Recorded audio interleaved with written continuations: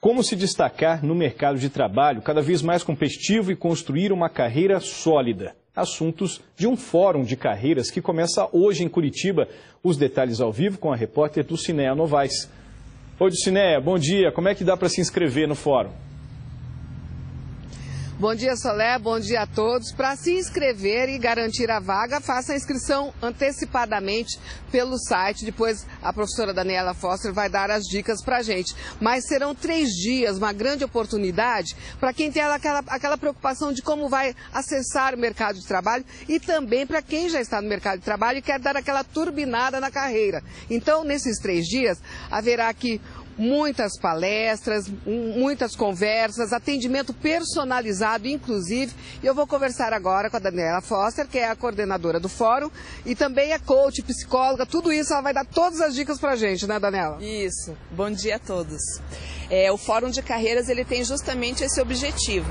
A gente considera que hoje você tem que se diferenciar, você tem que se destacar, mas muitas vezes as pessoas não sabem como fazer isso sem um apoio.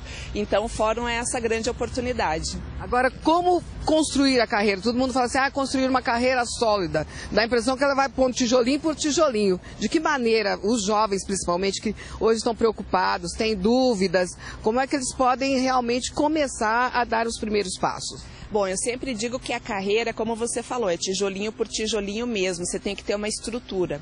E para essa estrutura, é, eu costumo dizer que a gente tem que gerar significado para a vida profissional, para aquilo que a gente realiza.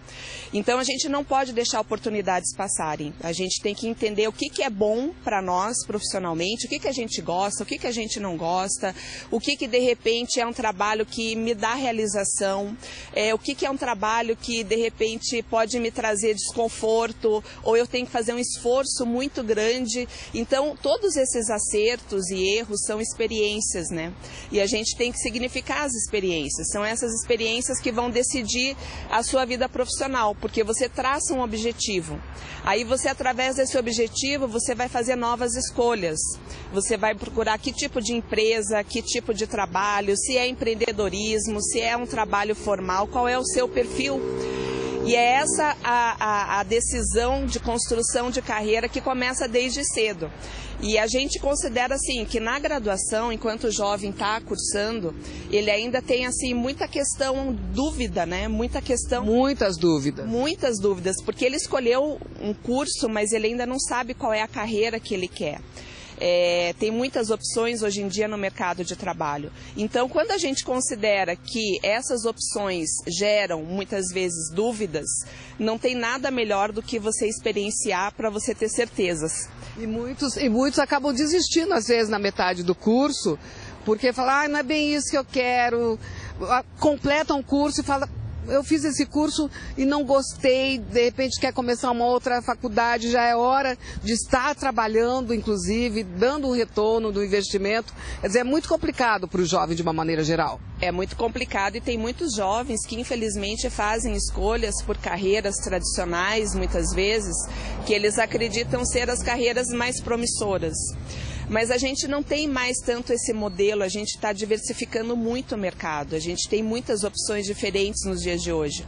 E aí, quando ele ingressa numa carreira errada, e ele já começa a sofrer no próprio dia a dia do curso, né? Então adquirir conhecimento, adquirir toda essa parte aí que é a fundamentação da carreira já é sofrida, você imagina trabalhar com isso.